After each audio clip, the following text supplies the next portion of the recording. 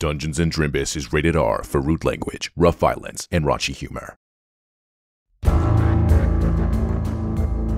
I do declare, here's what happened previously on Dungeons and Drimbus. Upon arriving in Opula, the attorneys spend the night at Until Dawn Pawn. After some morning coffee, they head off toward the Autograph Theater. Thomas and Teronicus head inside and skirt around some identification issues as Richard and Jessica bump into Tommy Ware Rat. Jessica is hired as assistant director, and after a frightening encounter with Trip, the stage manager goblin, Richard is hired as assistant stage manager. They proceed into the table read with a number of icebreakers until Ryan Crabapple appears, set to understudy Thomas. With tensions rising, the crew continue on through their first rehearsal in preparation to trap Lord Reginald Figglesbottom. I do declare, Your Honor is back in session.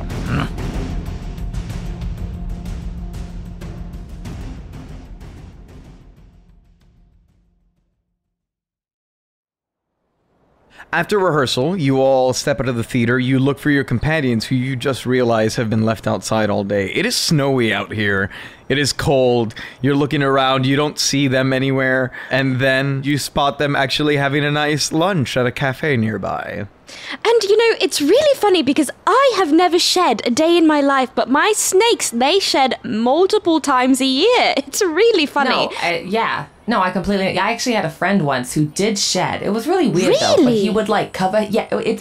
He did like a weird thing. He was into some weird shit. I'm not gonna lie. His name was Jerry. He covered himself like completely in glue once, and it was just Oh. strange because then he eventually was like, "Oh, I'm peeling. I'm peeling." I'm like, "No shit, you covered yourself in glue. What are you thinking?" yes, So I it, it was just. Yeah, exactly. So it wasn't like real. I shame. dated a Yuan-ti once, and they shed. However, uh, it wasn't until a couple of months into the relationship that I found out he wasn't a Yuan-ti at all. He was actually just a little dwarf in a costume. And he still was able to Wait. mimic shedding. Yeah, I think he wrapped himself in plastic wrap. Wow, that's oh, very Oh, okay. interesting. So the shedding wasn't. It wasn't real. It was. It, wa- it was like. You know, Oh, it was- I- okay, so it was part of the bit. admittedly, I am a half Medusa, so I don't know. You know, my mother, I never actually knew her, but I don't know if she shed in daily life, and I just don't because of the human parts of me. It would be very interesting. It could be, it could be. Wow. Oh, is it? Ha! And you see uh, from across the street, Kit waves a tentacle at you guys, like through the storefront, as you're stepping out of rehearsal. Oh, hi. Oh my god, have you all they finished already? That was that was quick. Okay. Well, hey, how'd it go? Oh, these three, they did great in the read throughs today. And we got to meet a particular understudy who is who is particular. But yeah, you know, I think it really brought me and Thomas a little bit closer together today. Um, and I think I think we're we're we're really creating something special. Oh, oh, by the way, I got an assistant director position as well. That's wonderful. Yeah, I'm really excited about it. I, I'll be able to kind of help guide the production in, in my own special way. Does that technically make Richard also your assistant? Yeah, Richard, Speaking how, how of did that available- go? I, I would Speaking- say we're, we're more on a on a on a somewhat even-ish playing Yes. field, but I think Richard is still still top dog here. Yes, yes. And. Jessica kind of gives a sly wink to Teronicus.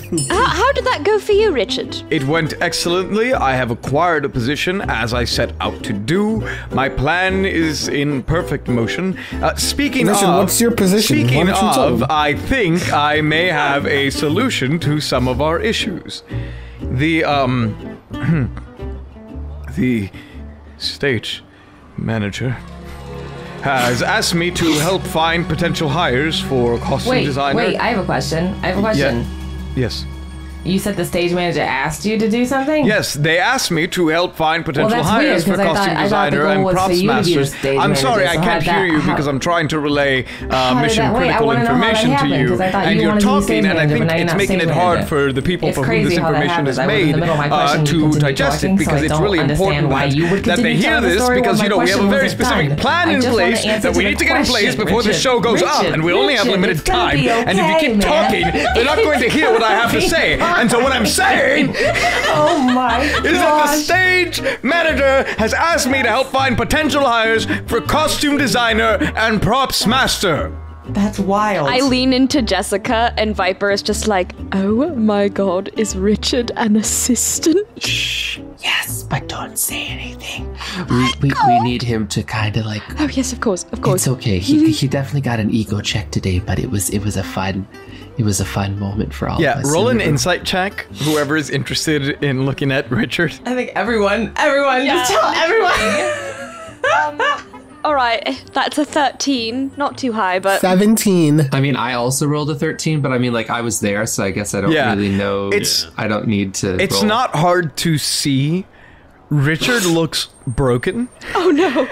but Richard also looks deeply like worried, like Like fearful. unsettled. Yes.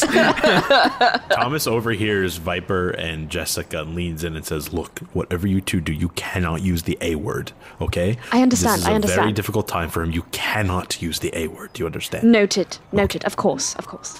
so as I was saying, um, I need to find potential hires for costume designer and props master. Well, then that works out perfectly. Um, when do you think they might be available for interviews or anything like that? Uh, I believe that uh, we could bring you in perhaps tomorrow during the rehearsal. Perfect. And if it was anything like my interview, uh, it'll be quite easy. I believe um, Trip will be overseeing this. Oh Right. boy, uh, that that might be a little bit. Which more one is. Trip? Best of Which- luck. Which one is Trip? Oh, Who? Trip, Trip is the is stage Trip is the manager. SM. The SM. Yes. What does SM stand for?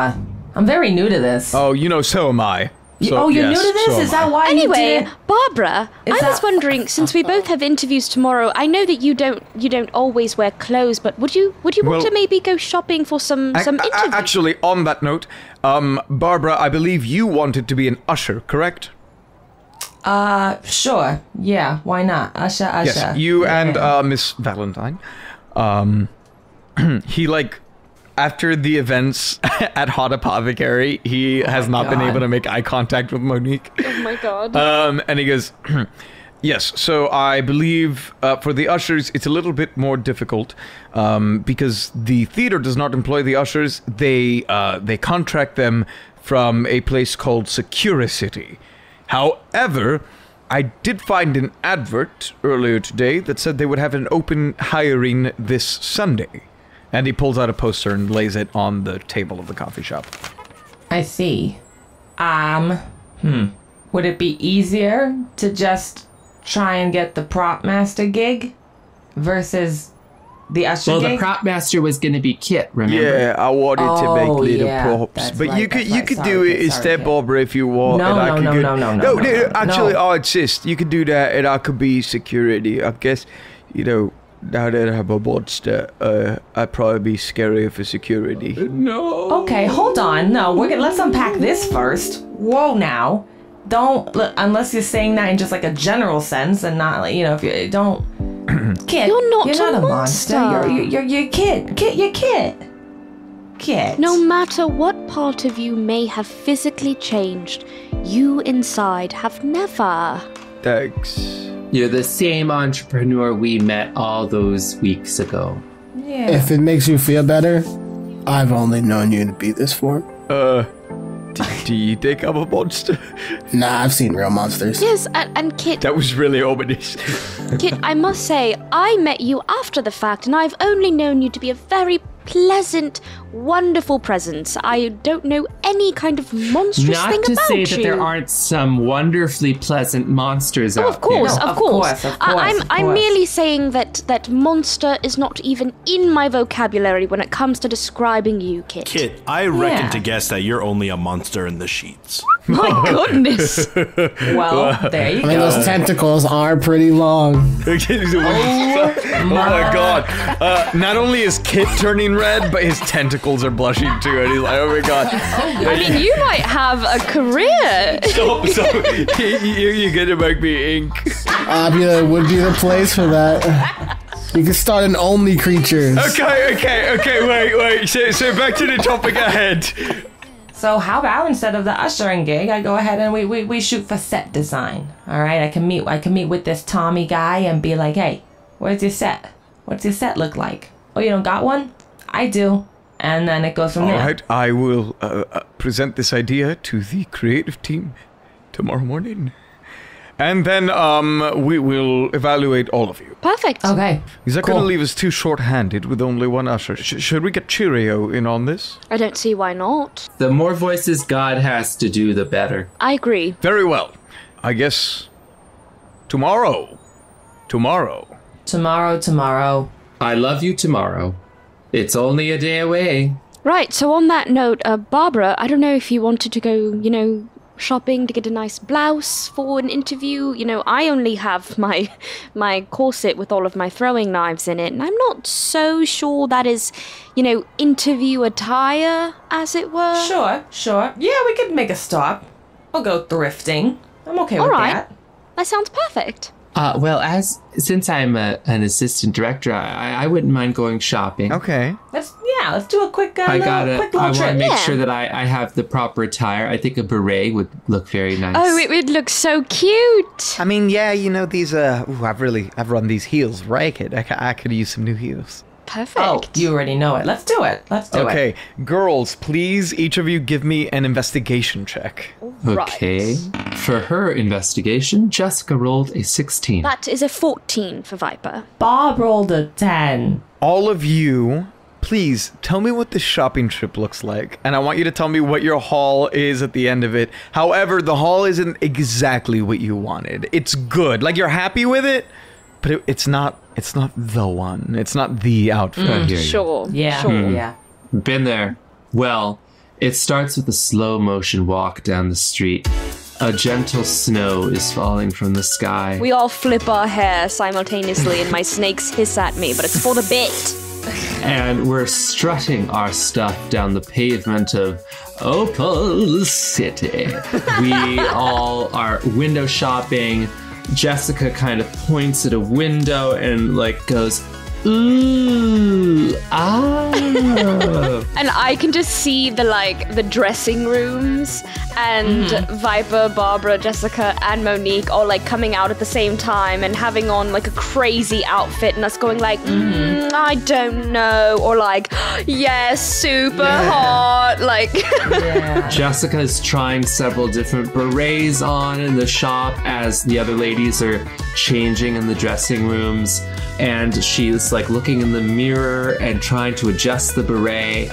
And like she's like trying to adjust it and like she pulls a little bit too much on it and her bone crown rips through the fabric. And then she gives herself a thumbs up in the mirror and she just nods at herself like, yeah, that's it.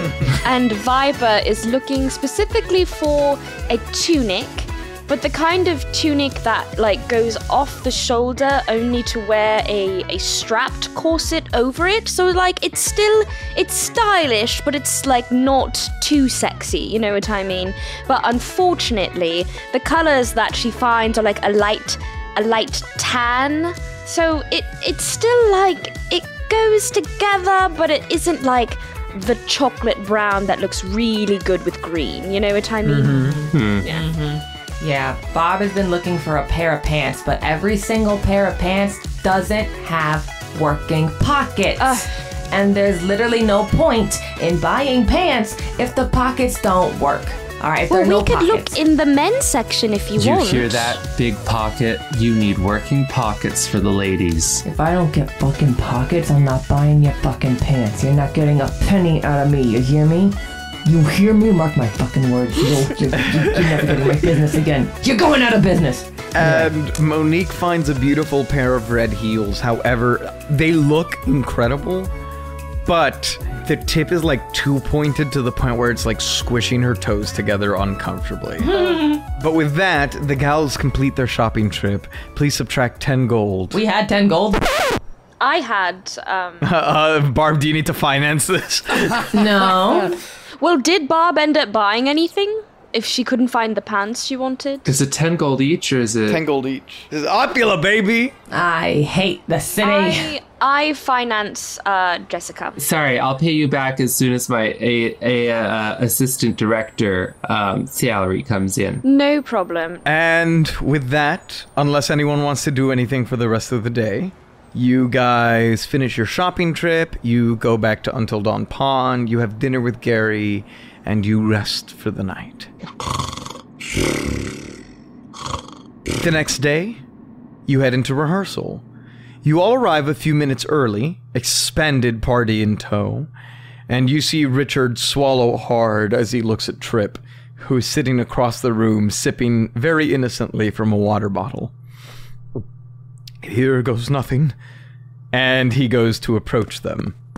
Meanwhile, Thomas, you see Tommy Ware Rat deep in what seems to be a very serious conversation with a woman in blue nurse's scrubs. Hey, little Thomas guy! Hi, Tommy. Oh, sorry. Wait, give me one second. Yeah. And he turns back and he keeps talking to the woman in the nursing outfit. Uh, Jessica points very subtly at Thomas and casts message to say into his head, Is that who I think it is? Yes, it is Jessica. I, I think Uh-oh. so. Um, Jessica's gonna like, she's gonna go to like the re- those long rehearsal mirrors that are in like a rehearsal room, and she's going to look in and just kind of make sure that like she is disguised herself pretty well today. Yeah, r- roll a stealth check for me. Fucking hell, these rolls today.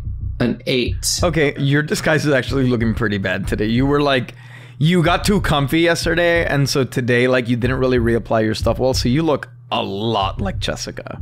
I pull out the disguise kit from Viper and I start to do a bit of like I'm touching up, like I'm trying to make it look like I'm touching up my makeup, but also like working on making that disguise a bit more convincing. Mm-hmm. Give me a performance. Let's go for the artistry of it. Okay, that's better. That's an 18. Yeah, you touch yourself up, and you get the feeling that much better now. As long as you keep your distance from this woman, she wouldn't be able to pick you out from across the room. Okay, Jessica's kind of gonna linger elsewhere and wait to go to the director's table then. Okay. Yeah, you wait around, you chat with some of the rest of the production team, and after a few minutes, uh, Thomas, Cynthia walks past you and she says, Hey, little Thomas guy, indeed. And nods to you very pleasantly and walks out of the room. Only Tommy can call me little Thomas Guy. At this point, Richard walks up and he says, uh, Viper, Kit, B, uh, Trip here is very interested in hiring you as our head craftsman for the production. Uh, however, they will need to vet your skills. I have personally assured them that you are the right people for the job. So, please, let's live up to that expectation, shall we? Of course. Of course. Um, uh, Victoria, Yes. I believe um, uh, Tommy would like to have an assistant director's eyes on this process. Oh, of course. Very well. Shall we? You got it. Let's do it. Certainly. Okay. Trip and Richard lead you to the underbelly of the Autograph Theater, into a large, beautiful workshop. Lining the walls are props and costumed mannequins with knickknacks from countless famous opulent stage shows. Kit marvels at what appears to be a large wearable puppet with a horrifying face. In various stations throughout, you see just about every tool imaginable. Viper, you can't help but wonder what your family could accomplish with a workshop of this magnitude. Wow. This is beautiful. Yes, the Autograph Theater takes great pride in its facilities. Uh, as such, we will need skilled uh, worksmen to operate them and live up to the standard. So, in that vein, uh, and you see Trip whispers in Richard's ear as he sweats a little bit. yes. Um, the Pocket Full of Dead Fish is a highly anticipated production. As such, we will need skilled craftsmen to bring this literary marvel to life. We're going to start with a classic challenge today.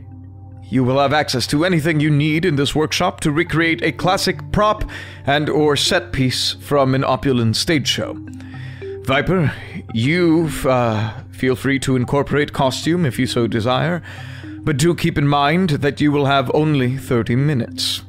Our first challenge, to keep in mind your interests in set, prop, and costume, will be uh, Tweeny Sod. In particular, the barber's chair, famous for being the deathbed of Tweeny's victims and housing the mechanism to dispose of them quickly for processing into meat pies. Your 30 minutes start now. So, the three of you have access to anything you could fathom in this workshop to try and build this barber's chair. So, I would like for you guys to discuss your plans together. Are we working together? Yes. Okay. Oh, okay. Uh, discuss your plans together, and then when you take a concrete action, let me know, and we will roll what is appropriate. All right. So, um, I don't know if if you two have seen this production, but actually, my father took me when I was a little girl. It was quite funny because he can't see, but he knew I loved musicals, so he took me anyway. Um, Kit really liked the story. Uh, Not Kit, up Kit. Twigs really liked the story. Oh, I'm sure.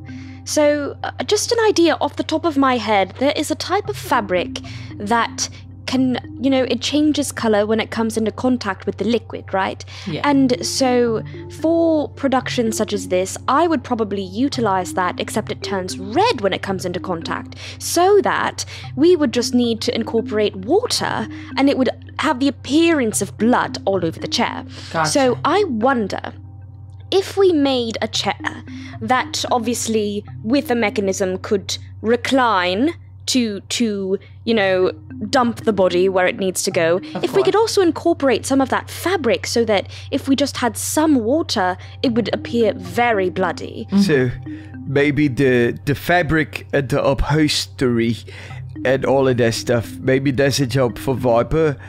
Maybe the chair platform is a job for Barbara.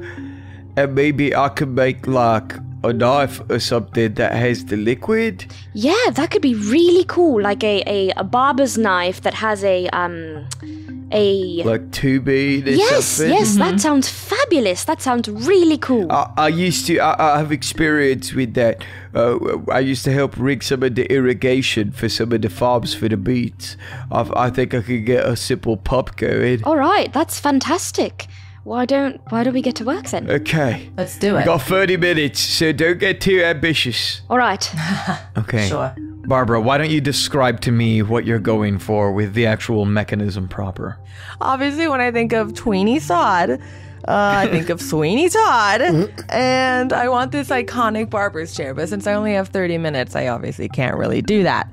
So, because just to offset like the blood color, I want the chair to not be red. I would want the chair to be upholstered in like a different color, maybe like maybe even a green, maybe even a green, which is different, but I like it because with the blood, you'd be able to see it a little better than like with black or something like that. And I don't want to do white because that's too much, and then people would start to get an understanding for maybe what's going on. You don't want to actually see the blood. I'm just gonna probably keep it to wood for now since it's it is what it is. But I fully want the chair to be able to recline all the way back to the point where the body would be able to slide off backwards. You can pull it back once and it'll just recline you, and then you pull it back again and it fully tips you backwards and you fully go back. Okay. Cool. So with just one lever, this doesn't seem like it's a hard mechanism. It seems like the hardest part about your job is going to be building this entire thing quickly. Yeah. Yes. Okay. Um, so why don't you give me, and I will let you pick what you want to use here. You can use sleight of hand. You can use maybe performance if you want to argue for the artistry of it. Those are the two options that come to mind. If you have an argument for a different skill you want to use, I'm I'm open to hearing it. Mm, I'll use sleight of hand. Give me a roll. This is probably the most difficult component of them all. Yay. Thank you for that. That's great. That is a 21. Marvelous. So, Okay. you take that. Thank you, B. Viper. Yes. I believe you are in charge of the dyeing and the upholstery. Yes. Right. So, um, first, what I'm looking to do is create a barber's cape that would be draped over a person on top of the chair, and I am looking for a either a gray or a tan in the kind of fabric that will change color when it comes into contact with water. And once I do that, then I'll also make a white, like uh, you know, they put the they put the white paper sometimes so that it doesn't The toilet paper, yeah. Yes, yes. So uh, that, and then the cape itself. If I have extra time, then adding some gothic curtains, which doesn't take a whole lot of stitch work, just to like, you know, make it feel like more of a complete set. If I have time after making the cape and making sure that when it gets wet, it will appear like blood. Great. I'm open again to hearing arguments for different skill uses. You, because you're you have so many different components, you are gonna have different levels of success. We Can, can, I it. make two different checks? One for the stitching itself, and then one Okay. for the dye. yes, I will allow that. All right. So uh, that is a 23 for stitch work. Okay, you're using sleight of hand for that one? Yes. Okay. And then, oh shit, fuck, on a fire. Uh, that is a zero. Okay. Meanwhile, Kit is going to be working on his knife with a pump system. So you see what he starts trying to make is he makes this kind of foldable barber's knife. However, the edge itself, I mean, the whole thing is uh, is lined in rubber so as to not actually hurt anyone. But the edge itself is actually not um, not an edge, but hollow. And inside of it is a tubing that is meant to run up someone's sleeve to a pump that you can squeeze and have it pump out liquid. Okay. So, demonstration comes around, and you all have done your best. Barb, you do an incredible job putting together this chair so quickly. Thank you. It is impressive. If you were to come and bring a magnifying glass to it, you know, you could find like some of the rough seams and all of that looking at it closely, but especially within 30 minutes, like you could put this on stage and in good lighting, it would look stage ready. Viper, you actually do a beautiful job with all of the stitch work. You upholster the chair, you prepare the barber's cloak, everything's ready, and you have dyed it, and we will see how the dye works.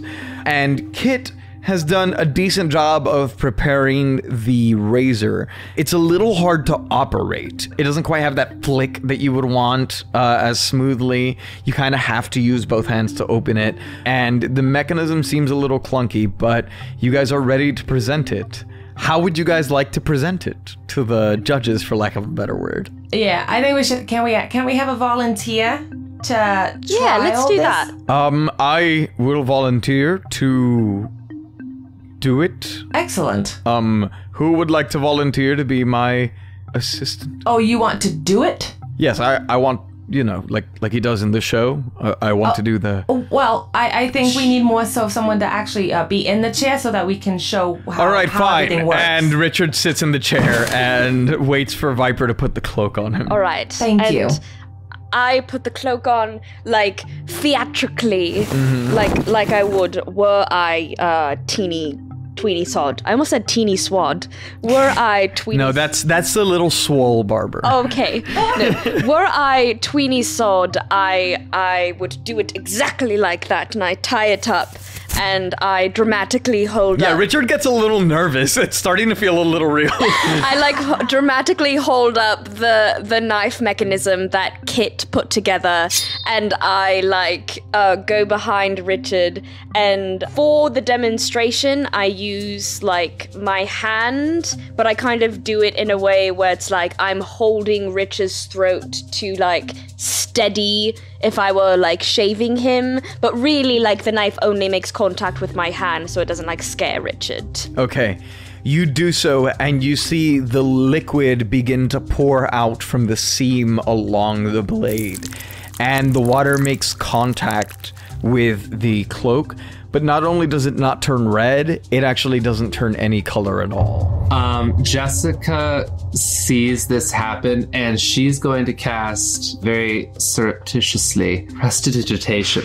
You make a color, a small mark, or a symbol appear on an object or a surface for one hour. So as she sees nothing's really happening for a split second, so she quickly casts prestidigitation to make the desired color appear. Very well. Yeah, once Viper sees that it turns red, she like Yeah. You see, it is like a delayed reaction, like those little toy cars that change color with temperature. It's like you see it get wet first, and then, like half a second later, the color change takes effect as the red pours down, and Richard goes, Oh, my god, my god! And then Barb pulls the lever, and Richard goes sliding backwards. Bye bye. Ow!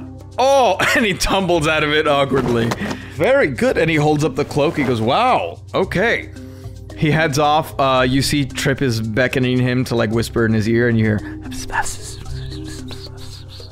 And Richard says, There was uh, a slight delayed reaction, but considering the time limit, uh, very admirable work, applicants. Thank you. Thank you. Thank you. Now, for our next challenge, we'll be taking on something a little smaller and more specific to the show. All right. I would like to invite our assistant director to introduce this crucial prop for the pocket full of dead fish. Oh, hi, that's me. Um, I'm here to introduce this very crucial prop. Yes, this very important element to the stage show that we are putting on. This tale of the murder of Berg Adel in the pocket full of dead fish. Yes, so uh, I need all of you uh, to work together to please create a hex box chest dice set, please. No! is that not is that not what you were trying to get me to do? Hello, this is the Inside Joke Investigator. If any of you have skipped over our halftime zones, you need to go back and listen because they are now canon. As in one advertisement for Elderwood Academy, we visited the moment in which Jessica murders Adalbert Katowski. She does so with a mini hex chest dice box from the Elderwood Academy by lodging a die in his throat until he suffocates and throwing him overboard. Nice. So I will require you all to make the mini hex chest dice box, which is the murder weapon for uh, this wonderful little uh, play that we're putting on, and not an actual murder weapon that happened in our real lives. Understood. Perfect. A very odd clarification, but all right. You will have 30 minutes to work together on this crucial item to the show.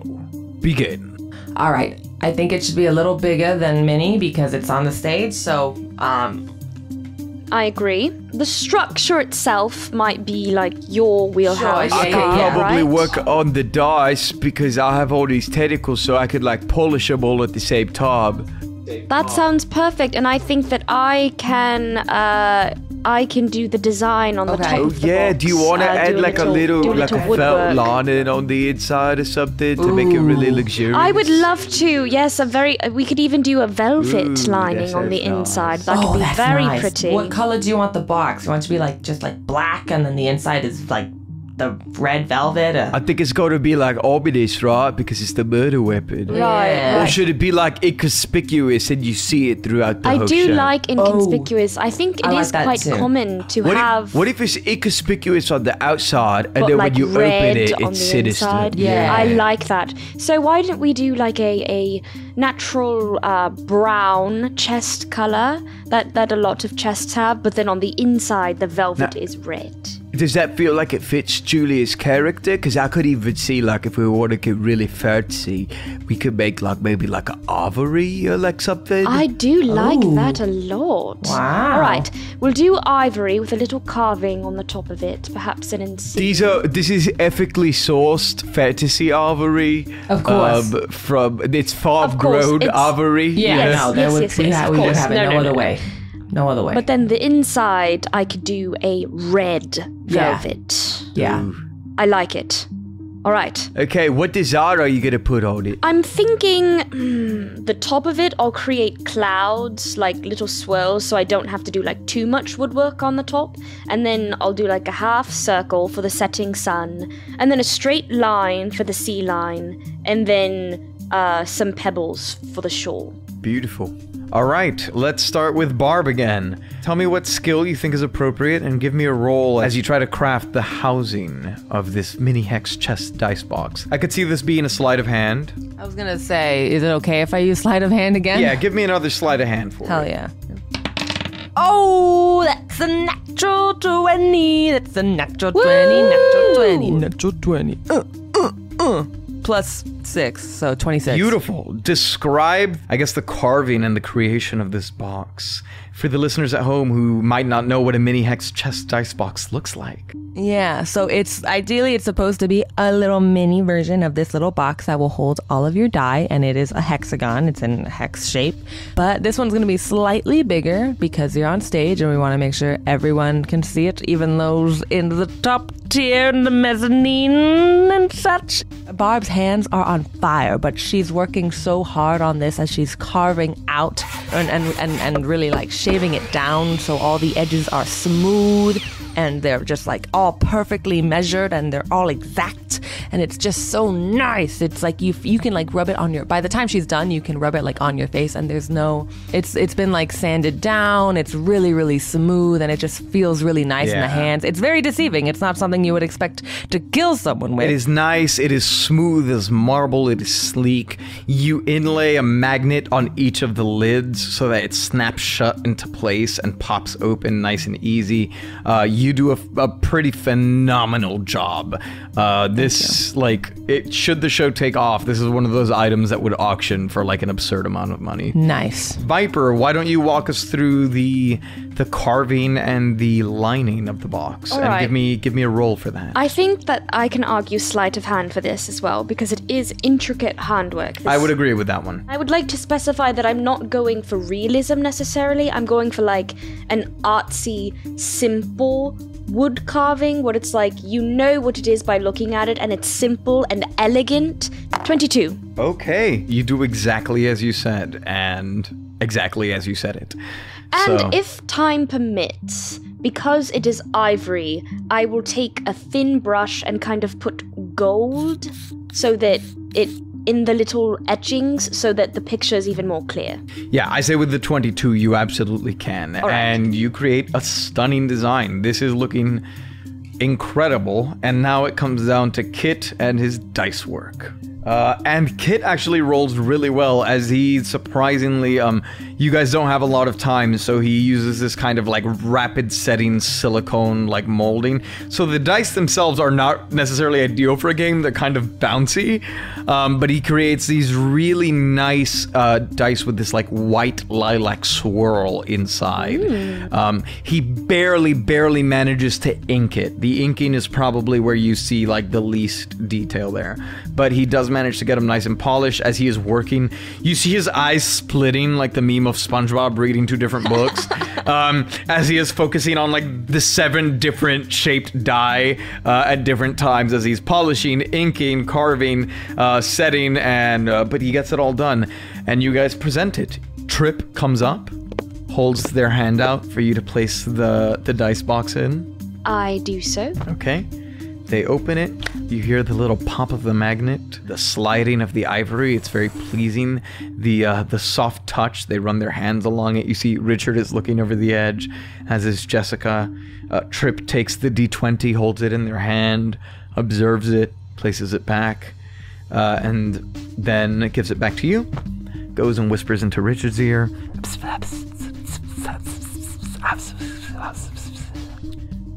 Very impressive work. Should you be hired, we believe that uh, this prop could even be stage ready as is. So, um, good work, everyone. I believe we have seen everything we need to see from you today. All right. We can omit the final challenge, uh, as we believe we have gotten a good sense for your craftsmanship. Expect us to be in contact one way or another. Uh, he looks at Trip. Trip is like staring at him very innocently, but he sweats. Uh, soon. Very soon. Thank you very much for your time. Thank you Okay. for applying. It's a pleasure to have you. Well done. Thank you. Thank you.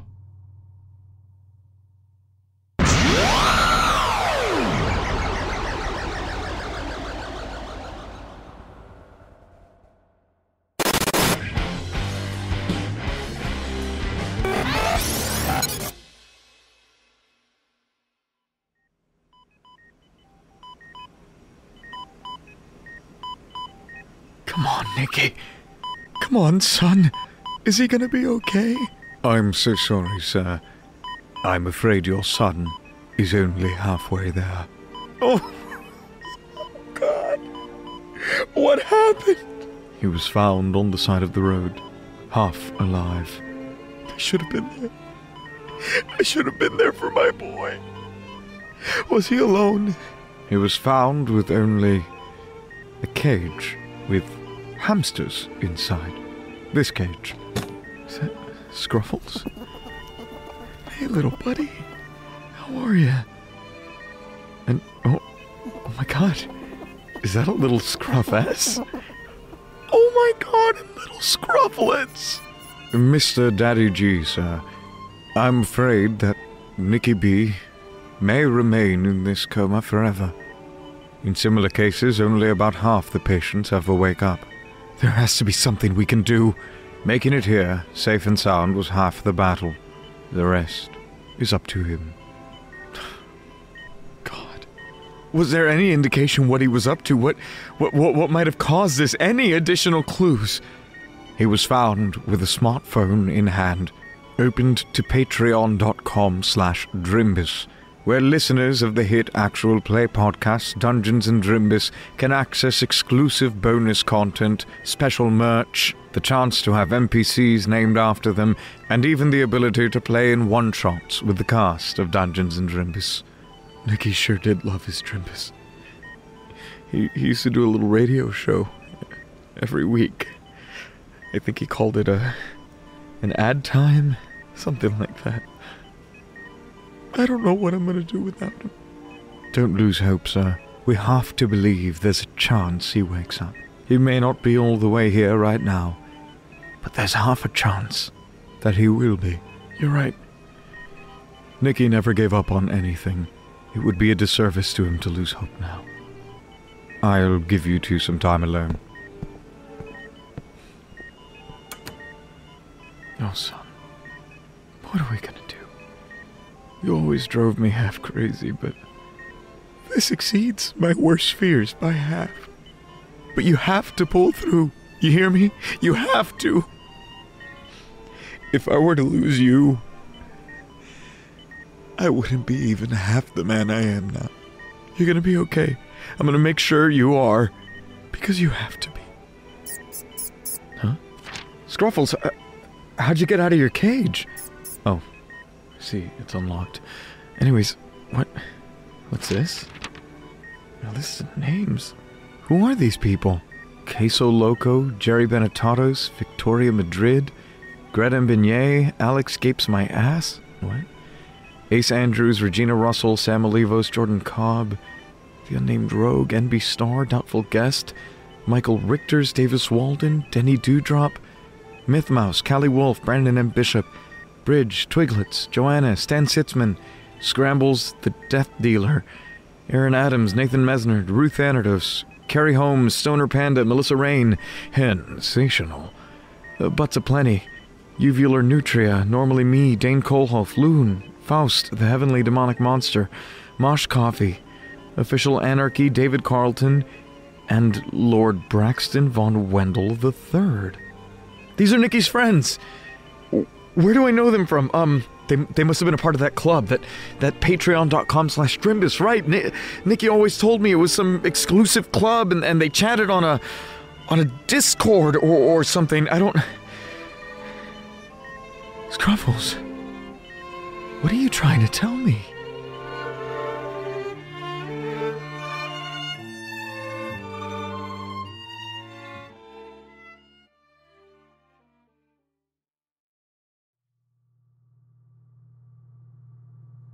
Meanwhile, upstairs, the rehearsal comes to a close. Teronicus and Thomas, please give me performance checks. 14. 17. Okay. At the end of rehearsal, Ryan comes up to you again, uh, Thomas, and says, Oh, good work today, Mr. Phelps.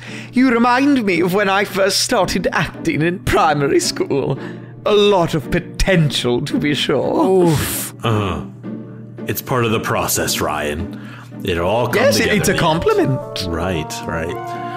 Um, can I go? Do you have anything else to say to me, or? Uh, no, ha- have a nice day. And he struts away. Mm-hmm. Nacho comes up to you after you saw he was having a chat with Tommy Where and he says, I don't think I'm doing a really good job, Thomas. What? What do you mean? I don't know. I just I'm having a hard time like staying genuine, even like since I already know what happens in the script. You know. N- Nacho, what is this? Like the first rehearsal, second rehearsal? I know, but Tommy already like he asked me if I was feeling okay, and it has me worried. You'll be fine. Just keep working at it, Nacho. You know, stay present, stay in the moment. You'll get there. All right. I guess tomorrow's a new day, huh? Exactly. Don't even think about it. Okay. And as you guys head out of the theater on your way out of rehearsal, you bump into the rest of the crew. Hey, how'd it go? Whoa, don't bump into me. I'm sorry. I, did, I, I think, I mean, well, we were, you guys were just coming out. So it was more you bumping into me, Thomas. But, you know, let's not split hairs about this. Uh, hi. Did rehearsal go well? Sorry, I was overseeing, um, well, not overseeing, I was a part of the, I think we got some new uh, costume designer, prop designer, and set designer. Fingers Don't crossed. say it too too soon, in case you know. Well, I did just speak with Trip, and they would like to move forward with all of you. That's wonderful. Nice. Congratulations, all. We should go celebrate. I I agree. We agree. should really. I think we Well, deserve it. maybe we should wait until we have a paycheck, and then we can go celebrate. You know Oh, what? yes, I like that, that, was one. also ooh That one. part of my responsibility.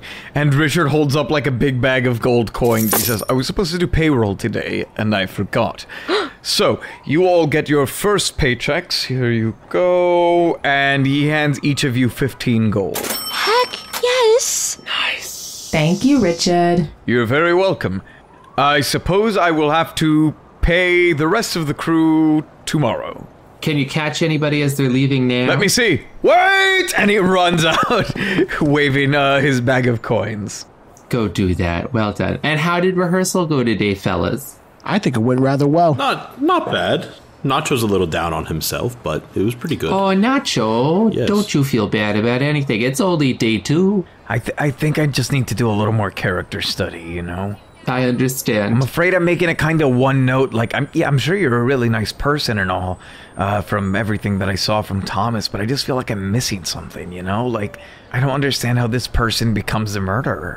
That's kind of a good place to be, though, isn't it? Because if you knew from the beginning that that is the action you would take, then then in the scenes before the act, the audience would know that that's what's going to happen, wouldn't it? I guess, yeah. There is some He's, mystery. he pulls out a cigarette. Nothing on it. You guys celebrate that night with your 15 gold. You come home. Um, Gary has actually just uh, started working on a margarita mix at Richard's behest. Wow. And so you all enjoy some margaritas. He makes some fantasy fajitas. Um, and you all enjoy a lovely dinner. You rest for the night. And that morning, Monique and Cheerio uh, head out to Securicity to see if they can secure some jobs as uh, security guards and hopefully get assigned to the theater when the time comes. Meanwhile, that day at the Autograph Theater, um, Viper, Barb, and Kit, you guys begin work in the workshop as you have been asked to draft up kind of your plans for the show and set in a budget. So you guys begin working on that. And in the actual rehearsal, we see Thomas and Teronicus in the middle of a scene. Tommy interrupts. No, no, no, no, no, no, no. Tommy guy, do you want this? I, yes, I want this. I don't believe. Do I should just put Mr. Ryan guy in here instead? Absolutely not. Um. Okay, um, well then prove it, man. Okay, okay. He grabs you, he, he shakes you, he says, Here, Mr. Apple Crab, come here. you know lines? I do indeed. Okay, Tira, keep going. Tommy, Ryan, you both read same time, okay? I see who I like more. Oh, I see. So, Teronicus, you are going to read Berg. Ryan and Thomas are going to be reading James at the same time. Um, Thomas, please give me a performance roll. Okay. Uh, that's a 17. And Teronicus, go ahead and give me a performance roll while you're at it too. 18. Take us away, Teronicus. And what's this? It's, a painting, Painting, Dad. Dad. What are you, a woman? Men, can paint too, Dad. Two, Dad. Why are you wasting your time on this shit? I'm not wasting my time. I, Daddy, why? Daddy. Grow the fuck up, Jimmy. I love you, I Love you. Daddy, Daddy. I, I love you. I love you. Hmm. Okay. Yeah, yeah, this does not work with the slap, trying to slap both of you at the same time. It was a little weird. Here we go. Uh, give me go to monologue in scene four, thank you. Um, this is pretty close. I don't, I don't make up my mind just yet. So here we go. Oh my god. Oh my Uh, god. please give me another performance roll. Are we going at the same time again? Yes, you are. Oh my god. Ooh, okay. That was an 18. Okay. I'm going to use Bend Luck and spend two sorcery points to roll a d4 and get Thomas Yes. a bonus Okay. to it. Heck yeah. And you get one, so you get 19. Before they go, can Jessica like pop up there and go, okay, actually, just before you uh, go, I, I just wanted to give a little something. All right, so Jessica's going to go over to Thomas, um, lean in, and whisper in Thomas's ear, okay, this is a very, it's a pivotal moment in, in the show. He's lost everything. And, and James, um, he he's not sure how he's going to continue on in this moment but but you know how that feels thomas. It's happened twice in your life. Once when you lost your family and then the second time when when you lost your assistants. Okay? So don't necessarily think about that fully but but pull from that where you were at. Put take yourself back to that moment those moments okay and and then we're gonna give this a shot okay Okay. okay Thomas, I'm gonna say that gives you advantage on the roll. Oh yeah. I don't know if I could beat the last roll. Oh, I did. 19. So plus one. Plus, Teronicus's bend luck brings you to Nah, dirty 20. Okay. Um, and Ryan goes, and what about me, assistant director? uh well we, we're we're looking to work. I think uh, what Tommy's trying to do here is he's trying to really like push Thomas here to be the best that he can be. Um, so, but but I'll, I'll come over and and Jessica comes over and she goes, okay, so um, so this is a pivotal scene for James. Um, and and you just have to remember that he's like extremely happy. This is the happiest he's ever been in his life. Um, this this is bringing him so much joy. So I, that that is hard to discern from the text, but you know all about subtext. So so really try to bring that joyful subtext out of this, okay? Mhm. Give me a deception check. now he has disadvantage. Come on, dice, come on, dice, come on, dice, come on. it's a natural 20, baby. Oh my god. Plus four, bringing it to a 24, but the natural 20 is more important. Thank you, assistant director. If I may, Tommy, I really believe this to be the pivotal moment in the show, and I think it deserves to be treated with respect. To have us talking over each other would do no one any good. Please, I believe if you were to listen to what I can do with this monologue, it would change your mind. Okay, you're being really weird, but yeah, sure. Do you want to go first? Um, y- yes, I would. Okay, go ahead. he shoves you out of the way, Thomas. Okay. Daddy! Oh dear Daddy! Oh, how am I supposed to let you go? You're gone, and I can still feel your presence. Your penetrating gaze, ooh, the stench of krill, the sting of your palm on my cheek. Oh, dearest Daddy, you've bruised me. Not just my flesh, but my soul. How does the soul heal? Ooh, can an invisible wound ever close? Or do we bleed into the ether forever? Ow! You stole pieces of me with every fist! And now your fists have gone. But so are the pieces. to the sea. To rest. Who am I? Who am I without you? Am I free to do what I always wanted? Yes, methinks. Mm, or have I just lost the excuse I hide behind? Yes, me also thinks. My body is here, but my spirit is free. See, that's that's subtext, Tommy. It's not lost, it's free. My spirit is free. You've taken it with you to see, Daddy. And he takes a bow. Jessica gives a polite applause and she is smiling and just kind of she's been nodding along the whole time and she's like excellent As a note, Ryan rolled a three on this. Oh my god. So now, Thomas, I want you to give me your best attempt at pretty much as good as this monologue can get. Oh boy. I want you to um, draw on those notes that Jessica gave you. Yes. Before Thomas starts, well, he can't really wink, but he kind of leans one of his eye sockets towards Jessica. The eye socket creaks like slightly shut. All right, here I go. Daddy. Oh, dear Daddy, how am I supposed to let you go? You're gone, and I could still feel your presence, your penetrating gaze, the stench of krill, the sting of your palm on my cheek, dearest Daddy. You've bruised me, not just my flesh, but my soul. How does a soul heal? Can an invisible wound ever close, or do we bleed into the ether forever? You stole pieces of me with every fist, and now your fists have gone, but so are the pieces. To the sea. To rest. Who am I? Who am I without you? Am I free to do what I always wanted, or have I just lost the excuse I hide behind?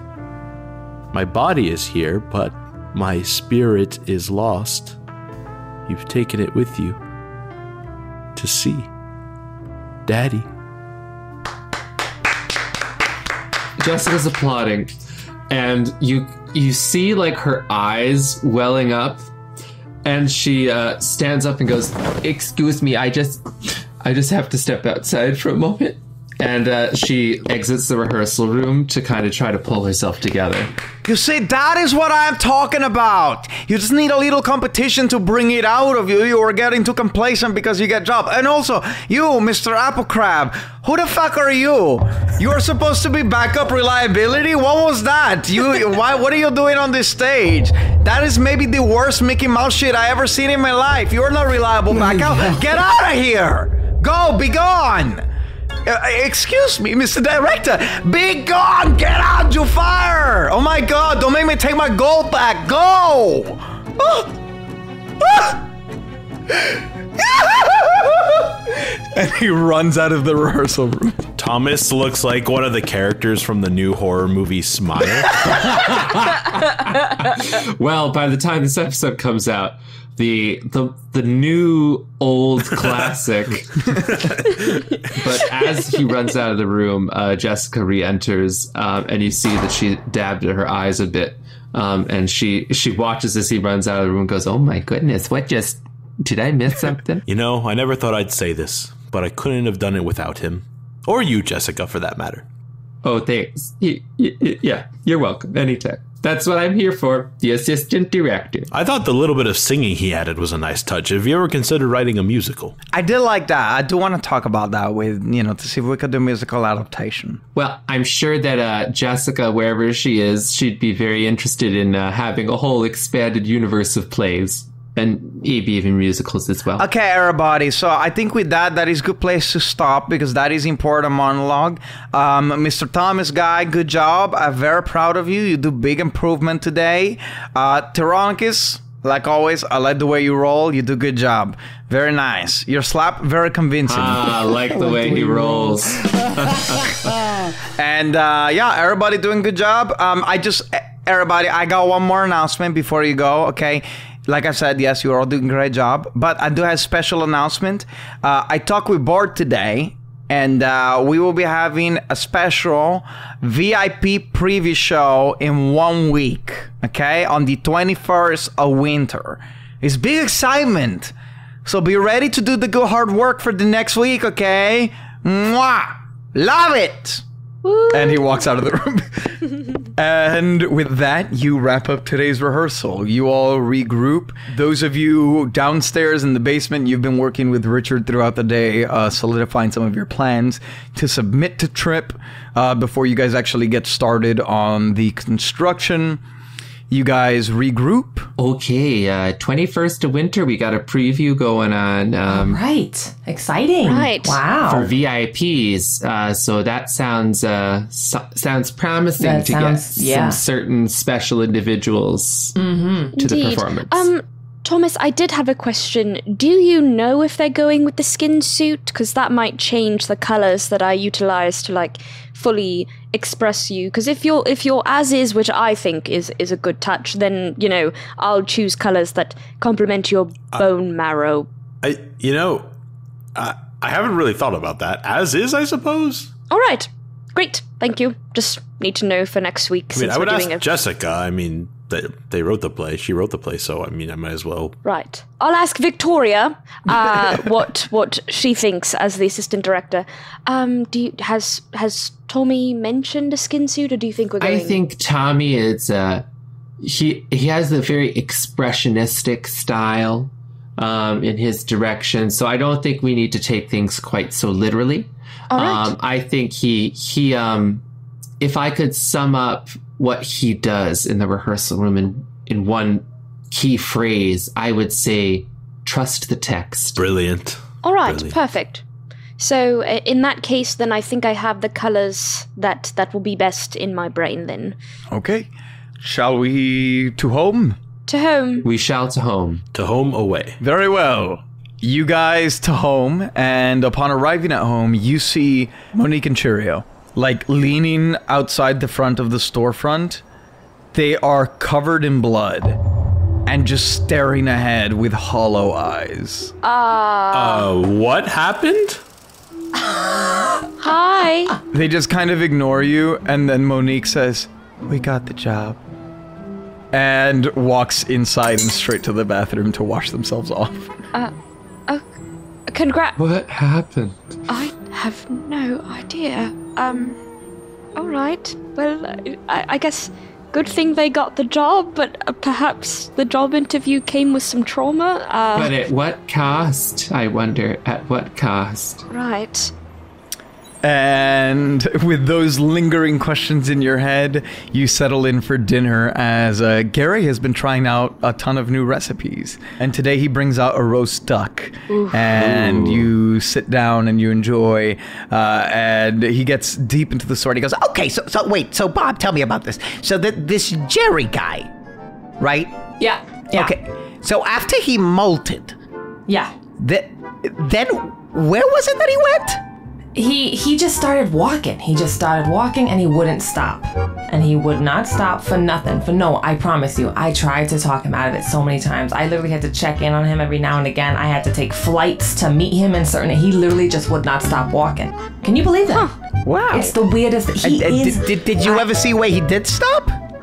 Uh well, I mean, technically, I did see him recently, so I guess I mean he stopped at some point. I don't know exactly what the stopping point was, though. You know what I mean? Right. And then at this point, you hear the bathroom door open. And Monique walks out and back into the dining room. And you see her brow is furrowed. And her eyes are focused as she stares at the eye mail. Um, ah. Uh, hey, Monique, right? you, you good? You good over there? She holds up the eye mail and you see a message scribbled on it. And she says, It's him. I'm I'm sorry. Mm. It's who? It's Gary. Huh? What? What?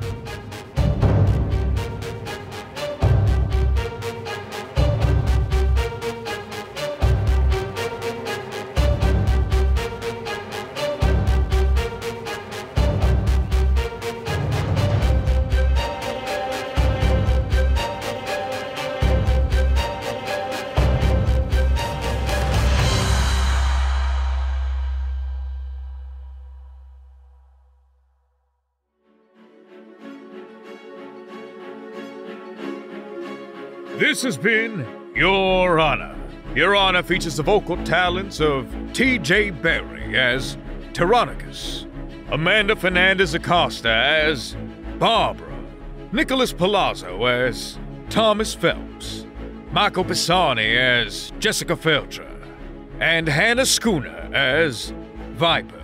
The rest of the world is voiced by your DM, Giancarlo Herrera. Editing was done by Hannah Schooner and Giancarlo Herrera, with sound design by Giancarlo Herrera. If you want to support the show, consider checking out the links in the show notes, or go to patreon.com slash drimbus. Our patrons get access to exclusive perks like our After the Show show, After the Drimbus, free exclusive merch, bonus series, and the chance to create items for the show or have NPCs named after you. Oh, and don't forget to tweet using hashtag Drimbus to be entered to win a free Dungeons and Drimbus sticker. Thank you all so much for listening, and I do declare I'll see you all next week.